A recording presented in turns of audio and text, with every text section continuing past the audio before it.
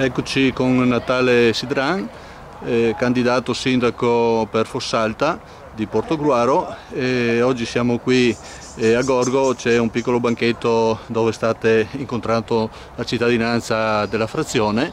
E lei è relativamente nuova in quanto è già una figura anche politicamente eh, possiamo dire eh, conosciuta eh, lei insieme a Paolo Anastasia, il sindaco uscente che è anche capolista, eh, avete un ruolo dentro anche il consorzio di bonifica, eh, visto che in questo momento c'è anche all'attenzione della popolazione, specie di Fossalta, Villanova, il sistema idrogeologico, magari ci può anche dire qualcosa in questo senso eh, che penso farà parte anche di materia di campagna elettorale. Sì, io penso che il problema dell'assetto idrogeologico è un problema centrale, eh, viste sia le condizioni meteorologiche che sono e climatiche profondamente mutate rispetto al passato, sia anche al mutato assetto del territorio, in quanto l'intensa urbanizzazione sta provocando problemi per quanto riguarda la raccolta e lo scolo delle acque.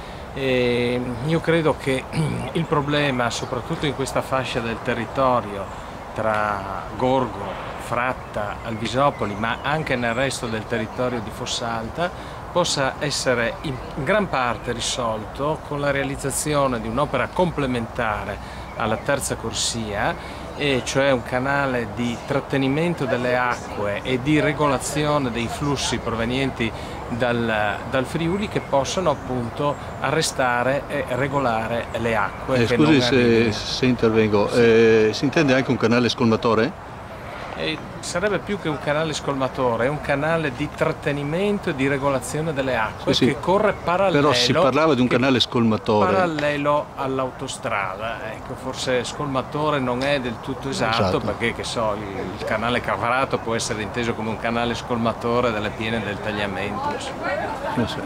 E andando e naturalmente, e naturalmente sull'assetto idrogeologico è importantissima la manutenzione dei fossi privati e dei corsi d'acqua sotto il consorzio di bonifica. Allora, per concludere questo argomento qua, eh, visto che avevo fatto un accenno sul suo ruolo all'interno del consorzio di bonifica, di bonifica, questo la avvantaggia, lo può portare eh, qualcosa ai suoi cittadini in termini di praticità e anche di contributi dalla Regione? Beh, se io sarò eletto sindaco non potrò più essere per statuto del consorzio all'interno dell'Assemblea. Quello che potrò portare per eh, il mio comune è l'esperienza che ho costruito in eh, parecchi anni di permanenza all'interno del consorzio sì, Perciò rimangono i contatti e, e questi servono eh, sempre.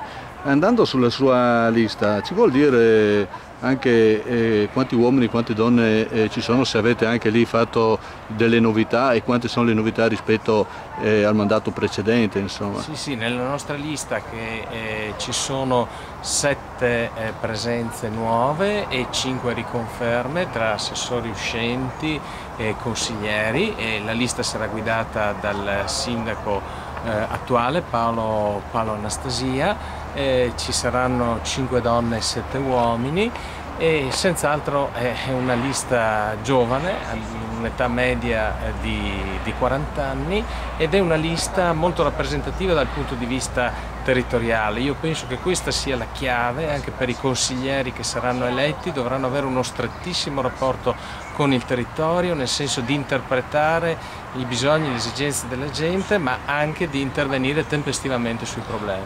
Sì, da qui al voto ci sono circa tre settimane e perciò avremo tempo magari di approfondire qualche eh, argomento, ma già da adesso possiamo dire che la sua comunque sarà una linea di continuità con quello che ha eh, portato avanti Anastasia o anche delle novità?